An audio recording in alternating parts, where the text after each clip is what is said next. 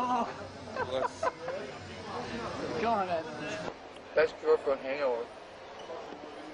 Not only still not hungover. Christ. Fucking grown men. Is that bad when you drink as much as we do and don't get hungover? The two-headed monster. What a two-headed monster. Now, this will make it into a family entertainment program. A guy in Metallica drinks so much he doesn't get hungover.